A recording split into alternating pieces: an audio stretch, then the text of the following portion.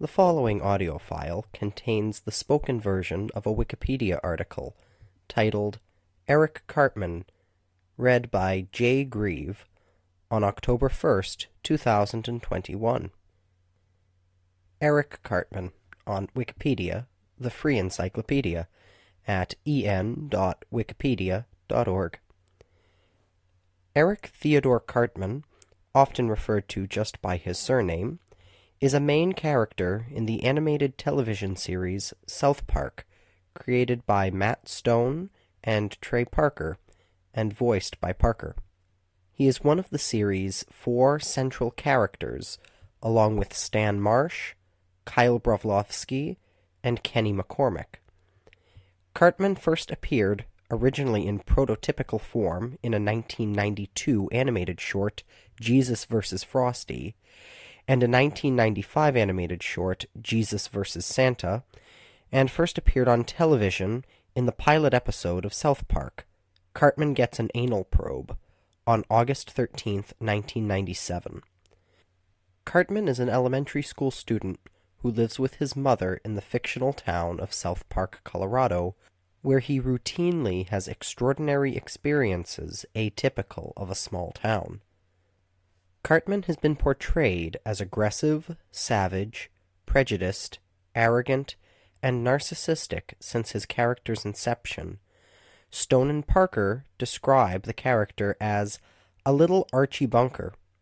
In later seasons, particularly after the events of Scott Tenorman Must Die, Cartman begins to exhibit extremely psychopathic, sociopathic, and manipulative behavior, and is also depicted as highly intelligent, being able to execute morally appalling plans and business ideas with success.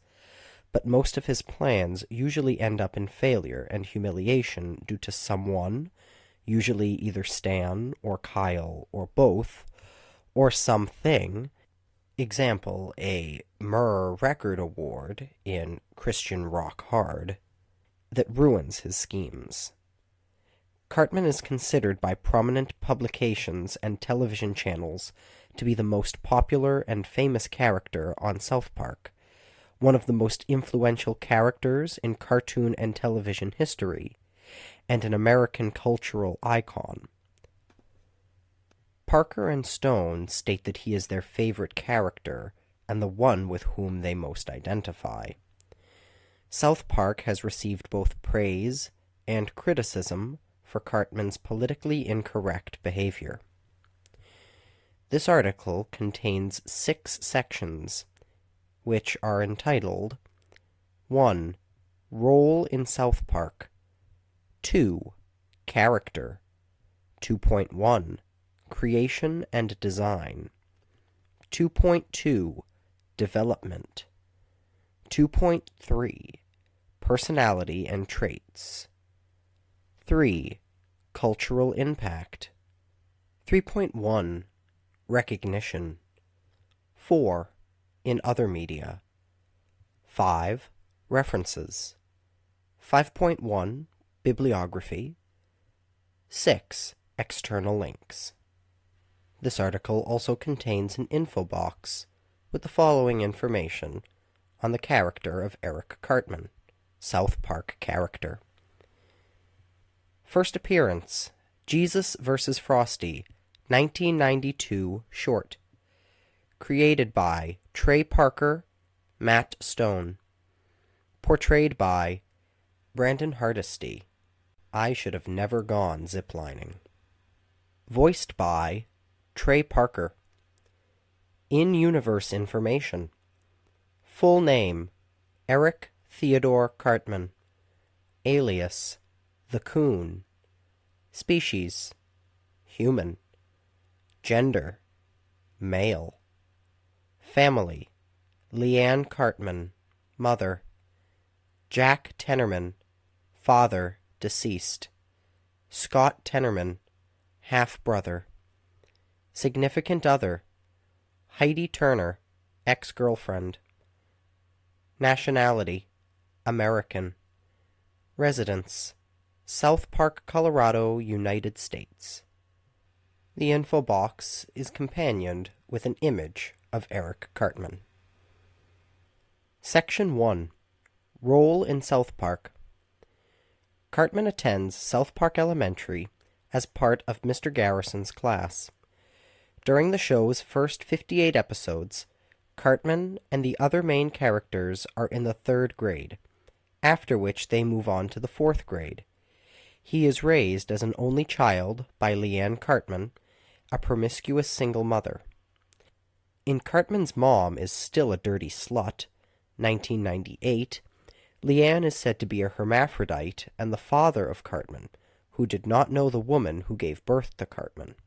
However, the season 14, 2010 episode 201 later reveals that Leanne is his mother and that his true biological father is Jack Tenorman, a fictional former player for the Denver Broncos whom Cartman arranged to be killed in the season 5, 2001 episode Scott Tenorman Must Die, making Cartman and Scott Tenorman half brothers.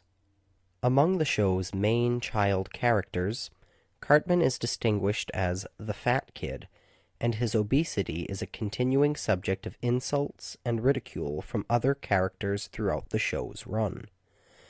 Cartman is frequently portrayed as an antagonist or villain whose actions set in motion the events serving as the main plot of an episode.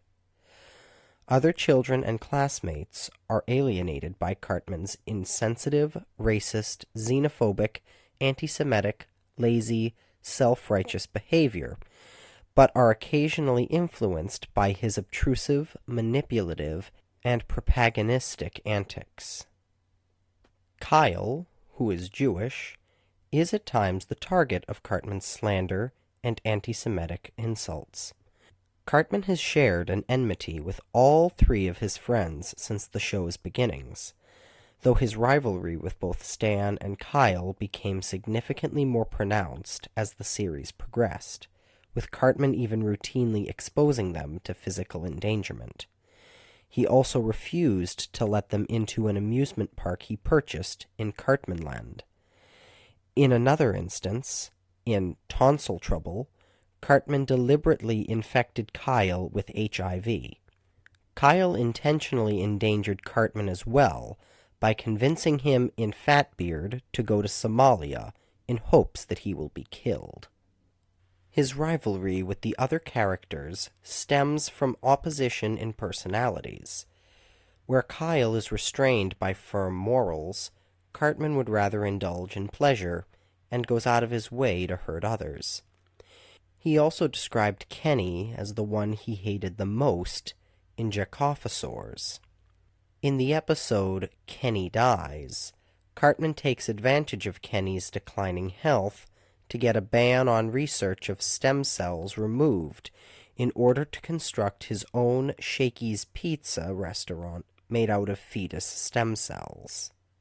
Kyle is sometimes an enthusiastic participant in Cartman's schemes, and Cartman is sometimes seen treating Kyle well, although this is generally to put aside their hatred momentarily for a common goal or for manipulation. Parker and Stone have compared the relationship to the one shared by Archie Bunker and Michael Meathead Stivic on the 1970s sitcom All in the Family. Kyle has a tendency to make what he thinks are safe bets with Cartman, and often loses these bets when the improbable actions promised by Cartman are accomplished. Cartman's motivation in this regard is not merely monetary gain, but an obsession with scoring a victory over Kyle, a fixation that ultimately plays a major part in a subplot to a three part episode Imagination Land, Season 11, 2007. This obsession has also proven itself to trump other goals Cartman wishes to achieve. For instance, in Christian Rock Hard, Cartman makes a bet with Kyle that he can make a platinum album before Kyle can. After recruiting Butters and Token, Cartman creates a Christian rock band called Faith Plus One and quote, writes, end quote, Christian songs by merely taking love songs and replacing words such as baby with Jesus, and which thereby humorously implies sexual relations with Jesus. Against all odds, the band becomes largely successful, managing to sell over a million copies and potentially gain millions of dollars. However, since Christian rock bands cannot truly get a platinum album, which is not true in real life, Cartman loses the bet. Despite having amassed a large fan base, as well as a large, steady income, Cartman only becomes enraged since he was unable to win the bet with Kyle. Careless in his anger accepting the Myrrh album in front of a large Christian crowd, Cartman goes into an anti-Christian rant which drives away all of the fans as well as profits. Cartman has also been shown to have a high sadistic streak towards Kyle. He has repeatedly expressed desire in seeing him suffer. He has also shown to enjoy Kyle's suffering and humiliation to the extremes. In You're Getting Old, the final episode of the first half of South Park's 15th season, it is suggested that Kyle and Cartman may be developing a genuine friendship, possibly due to the void left by Stan's apparent departure. This soon withers away as both return to the status quo of arch enemies at the end of Asperger's, due to Kyle realizing the repulsive way Cartman was producing his burgers. Cartman's resentment of Stan is at times reserved for when Cartman proudly proclaims his hatred for both Stan and Kyle as a duo, and his contempt for Stan as an individual is usually due to his annoyance with Stan's sensitivity, affection for animals, and relationship with Wendy Testaburger. Despite being intolerant of other cultures, Cartman displays an aptitude for learning foreign languages. In the episode My Future Self and Me, when he starts Parental Revenge Corp, he speaks Spanish to his Mexican workers, though he may have learned the language in order to better exploit a labor pool. He also knows German, and once spoke a few phrases while dressed up as Adolf Hitler while promoting the extermination of Jews to an oblivious audience that did not speak German. Cartman can also be seen speaking broken German with an American accent in Season 15, Episode 2, Funny Bot. Conversely, in one episode, Major Boobage, Cartman acts as an Oskar Schindler character for the town's cats, a rare case of a subplot based on Cartman's altruism. Cartman frequently teases Kenny for being poor and derides Kenny's family for being on welfare, despite the fact, revealed in The Poor Kid, that Cartman is the second poorest child in the school and revealed in Here Comes the Neighborhood that his family collects welfare from the government as well. For the first several seasons, his family's income comes exclusively from welfare programs and his mother's work as a prostitute. Later, Leanne takes an unspecified legitimate day job as well. Based on Cartman's depicted lifestyle, and Leanne's assertion that they are not much poorer than any other family, it is likely that the household makes somewhat more money than Eric believes, and only appear poorer based on Butter's search of tax records, because Leanne does not report her prostitution income. Cartman will use an awkward pause during a conversation as an opportunity to casually remind Kenny that he hates him, Cartman's mischievous treatment of Butters and the relationship the duo shares has received significant focus in more recent seasons of the series. This reflects Parker's interest. The scenes between the two are the ones he most enjoys writing. Several episodes concern Cartman's greed and his get-rich-quick schemes, although his numerous attempts to attain wealth generally fail. His extreme disdain for hippies serves to satirize the counterculture of the 1960s and its influence in contemporary society, reflecting Parker's real life antipathy towards hippies. Though the role is customarily taken by Stan or Kyle, Cartman will occasionally be the one to reflect on the lessons learned during the course of an episode with a speech that often begins with, quote, You know, I've learned something today. End quote. Section 2 Character Section 2.1 Creation and Design a precursor to Cartman first appeared in the first The Spirit of Christmas short, dubbed Jesus vs. Frosty, created by Parker and Stone in 1992 while they were students at the University of Colorado.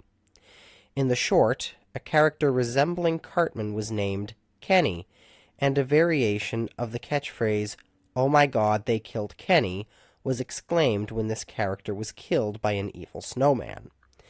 The character was composed of construction paper cutouts and animated through the use of stop motion.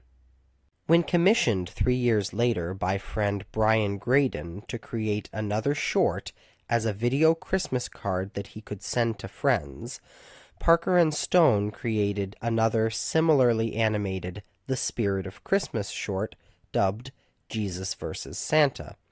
In this short, his character first appears as he does in the series, and is given the name Cartman, while the character of Kenny appears as the character is depicted today, and given Cartman's moniker from the previous short.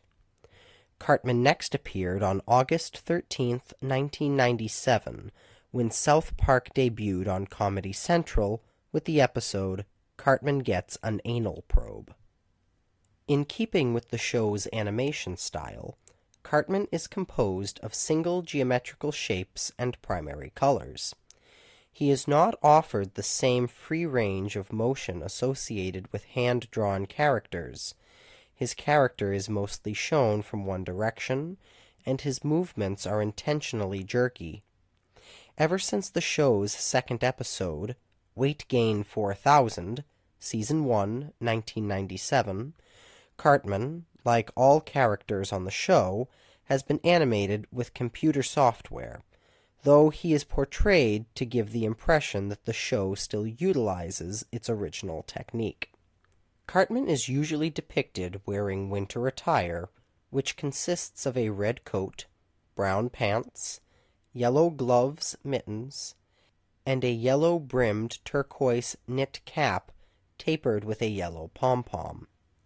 He has parted brown hair, and he is seen without his hat more often than the other characters with distinctive headwear. As he is overweight, his body is wider, and his hands noticeably larger than those of the other children, and his head is more elliptical. An occasional curved line on his lower face represents a double chin.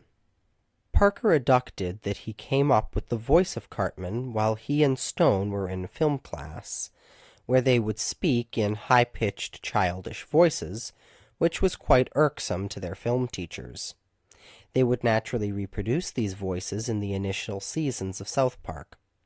Although he had originally voiced Cartman without any computer manipulation, Parker now does so by speaking within his normal vocal range with a childlike inflection. The recorded audio is then edited with Pro Tools, and the pitch is altered to make the voice sound like that of a fourth grader. Parker says to achieve the effect of Cartman's voice, he simply uses the same technique when voicing Stan, while, quote, adding a lot of fat to it, end quote. Section 2.2 Development Cartman is partially named after and based on Matt Karpman, a high school classmate of Parker, who remains a friend of both Parker and Stone.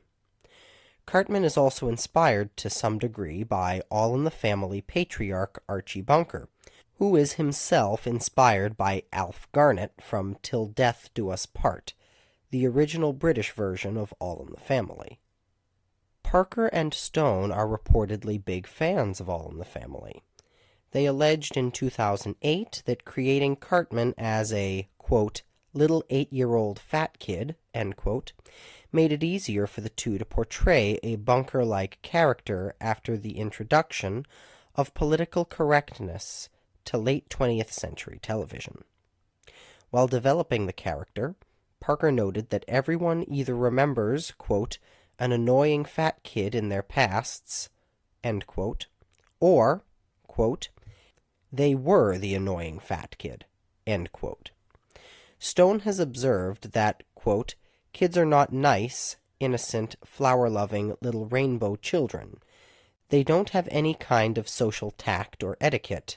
They're just complete little raging bastards. In the season 5, 2001 episode, Scott Tenorman Must Die, Cartman is tricked into buying the pubic hair of local ninth grader named Scott Tenorman for $16.12. He then successfully executes an elaborate scheme to publicly humiliate Scott in front of his favorite band, Radiohead, by getting Scott's parents killed and then tricking Scott into eating them. The show's writers debated during production of the episode whether or not the incident would be a, quote, step too far, even for Cartman, end quote. Parker felt that the act could sufficiently be the culmination of Cartman's sociopathic behavior, and would set a new bar by portraying Cartman as being capable of performing anything short of murder. Fans reacted by ranking it as Cartman's, quote, greatest moment, quote, in a 2005 poll on Comedy Central's website. It is later revealed that in the season 14 episode, 201, that Jack Tenorman, Scott's father, was a football player for the Denver Broncos who impregnated Cartman's mom, therefore making him Cartman's father, too. Parker and Stone despite being the basis for Stan and Kyle, insist that Cartman is their favorite character, and the one with whom they identify the most. Section 2.3 Personality and Traits Cartman uses profanity, as do his friends, to provide a means for Parker and Stone to portray how they believe young boys really talk when they are alone. According to Parker, Cartman does not possess the underlying sweetness of the show's other child characters. Cartman is shown at times to be completely amoral and remorseless.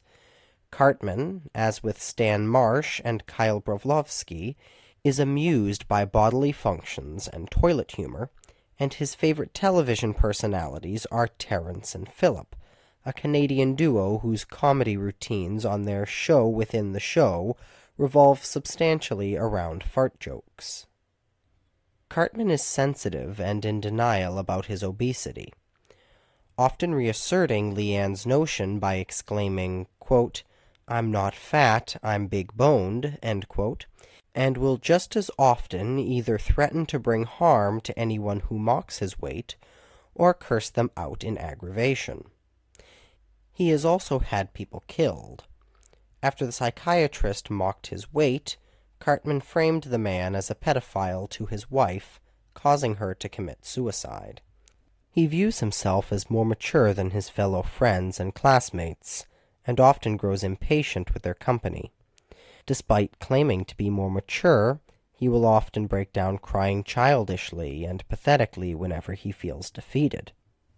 This often leads to loud arguments, which in earlier seasons typically end with Cartman peevishly saying, quote, Screw you guys, I'm going home, quote, and then leaving.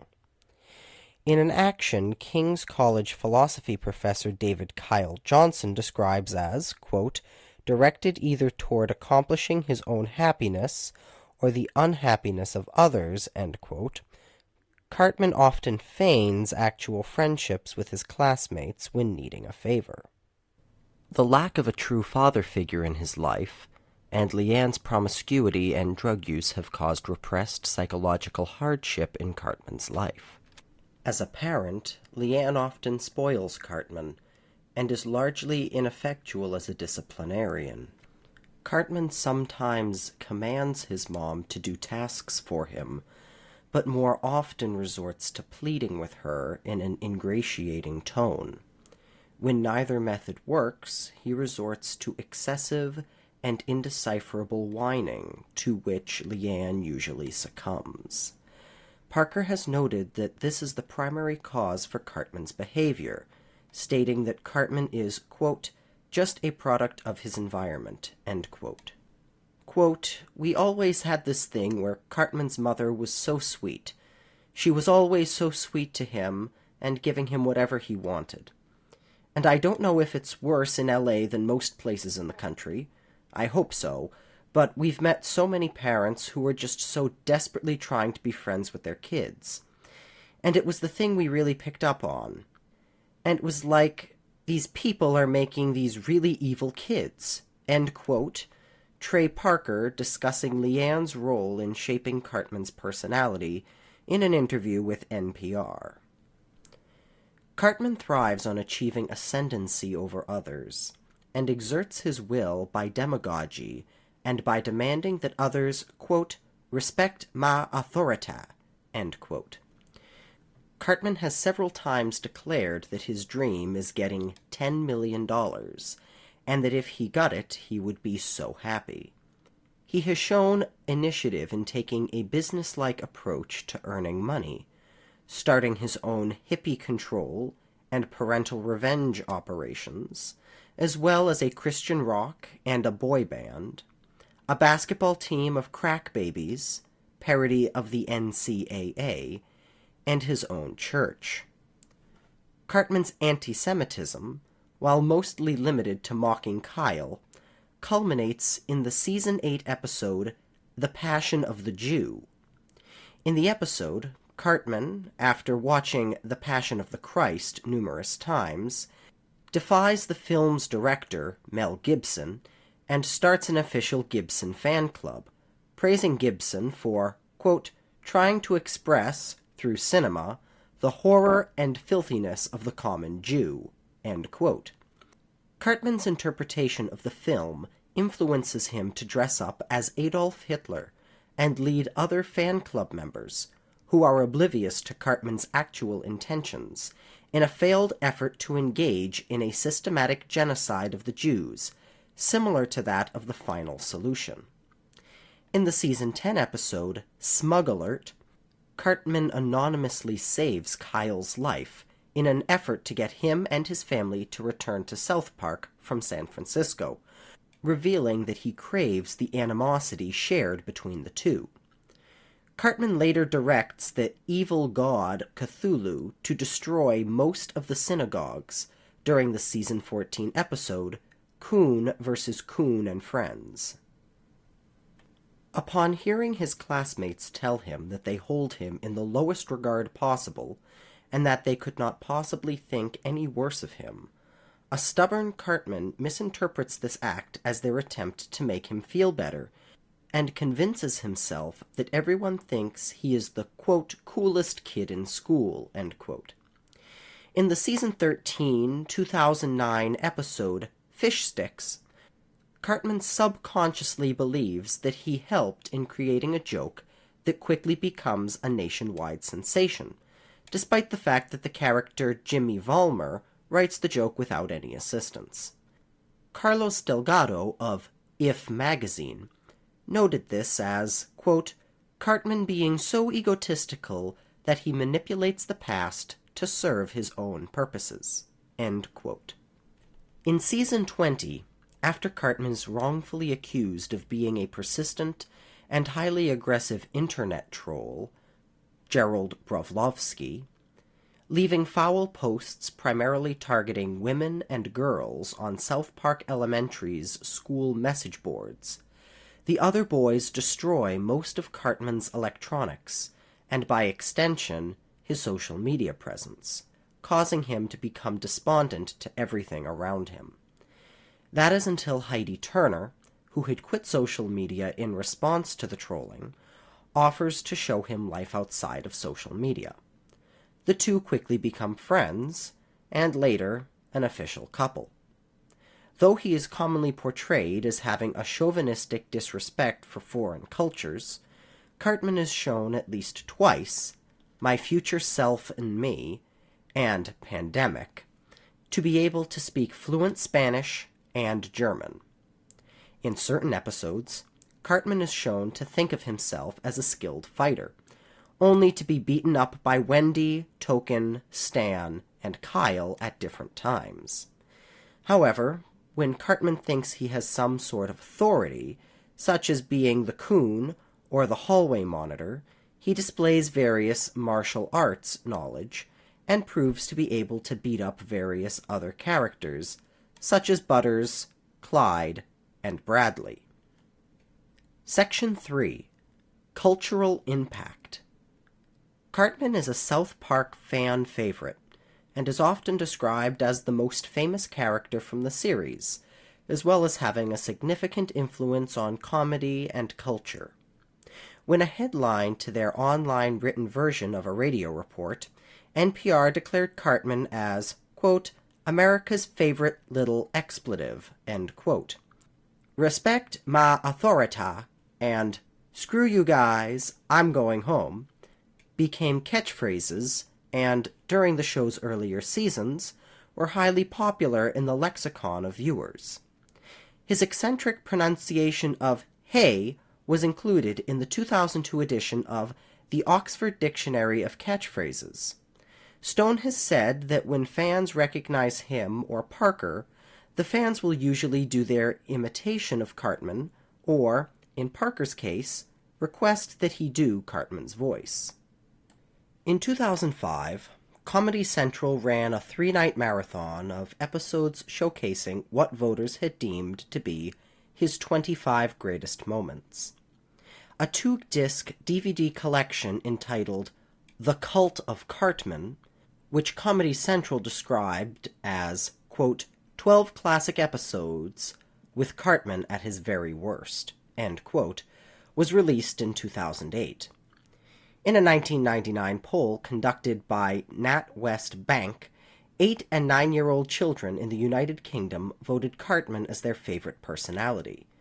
This drew the concern of several parent councils who were expecting a character from a television show aimed at children to top the list, to which Stone responded by claiming the results of the poll were, quote, upsetting to people who have an idyllic vision of what kids are like. While some in the Jewish community have praised the show's depiction of Cartman holding an anti Semitic attitude towards Kyle as a means of accurately portraying what it is like for a young Jew to have to endure prejudice, other Jews have blamed South Park and Cartman for having found themselves surrounded by acceptable racism. On November 20th, 2008, a Facebook group titled, quote, National Kick a Ginger Day, Are You Going to Do It? End Quote, surfaced, suggesting abuse towards redheads. Thousands of internet users signed up as a member of the group, and reports of a federal increase of bullying of red-headed students across Canada soon followed. The group's administrator, a 14-year-old from Vancouver Island, said the group was only intended as a joke, and apologized for the offense it caused.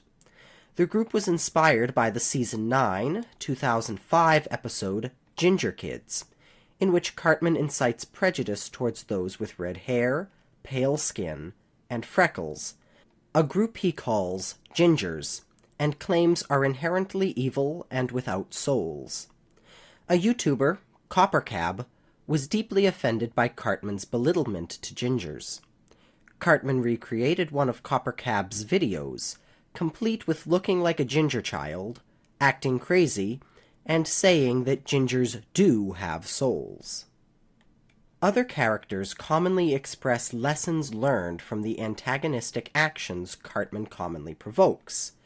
This has resulted in these characters giving their opinions on issues such as hate crime legislation, civil liberties, excessive religious devotion, the stem cell controversy, anabolic steroid use, the right to die debate, and prejudice. In the season 10 2006 episode Cartoon Wars Part 2, Cartman, planning to exploit the public's fear of terrorism, seeks to get the Fox television series Family Guy, a program he despises, permanently removed from the airwaves when Fox plans to air an episode despite its inclusion of a cartoon likeness of Muhammad. This leads Kyle to give a short speech about the ethics of censorship, which reiterates Parker and Stone's sentiments of, quote, either it's all okay or none of it is, in regards to whether or not any subject should remain off limits to satire. Both Cartman's commentary and the commentary resulting in response to his actions have been interpreted as sentiments Parker and Stone are attempting to make to the viewing public. And these opinions have been subject to much critical analysis in the media and literary worlds. The book, South Park and Philosophy You Know, I Learned Something Today, includes an essay in which Johnson uses Cartman's actions and behavior as examples when discussing the logical problem of moral evil, and another essay by College of Staten Island professor Mark D. White cited the season 2, 1998 episode Chicken Lover, in which Cartman is temporarily granted law enforcement powers in its discussion regarding the command theory of law and what obligates a citizen to obey the law. Essays in the books South Park and Philosophy bigger, longer, and more penetrating, Blame Canada, South Park and Contemporary Culture, and Taking South Park Seriously have also analyzed Cartman's perspectives within the framework of popular philosophical, theological, political, and social concepts. Parker and Stone downplay the show's alignment with any particular political affiliation, and deny having a political agenda when creating an episode. In response to the focus on elements of satire in South Park, Parker has said that the main goal of the show is to portray Cartman and his friends as, quote, kids just being kids, quote, as a means of accurately showcasing what it's like to be in an elementary school in America. Section 3.1 Recognition TV Guide ranked Cartman at number 10 on their 2002 list of the top 50 greatest cartoon characters, 24th on TV Guide's 25 greatest TV villains, 198th on VH1's 200 greatest pop culture icons, and 19th on Bravo's 100 greatest TV characters television special in 2004 when declaring him the second scariest character on television, behind only Mr. Burns of The Simpsons, in 2005, MSNBC's Brian Bellmont described Cartman as a, quote, bundle of pure, unadulterated evil, all wrapped up in a fat, er, big boned, cartoony package, end quote, who takes a feral delight in his evil doing. In 2014, IGN ranked Cartman first place on their list of the top 25 South Park characters, commenting that he was the obvious choice of number one and that sometimes the obvious choice is also the right one. The website stated that despite Cartman being, quote, one of the worst human beings in the history of fiction, he's the most loathsome character we've ever loved. IGN concluded by calling him, quote, the biggest contribution to the world of animated characters that South Park has made, and that's saying something.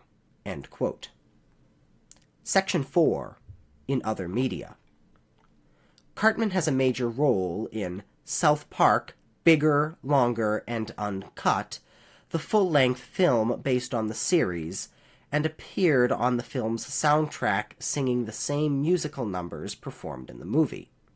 As a tribute to the Dead Parrot sketch, a short that features Cartman attempting to return a dead Kenny to a shop run by Kyle aired during a 1999 BBC television special commemorating the 30th anniversary of Monty Python's Flying Circus.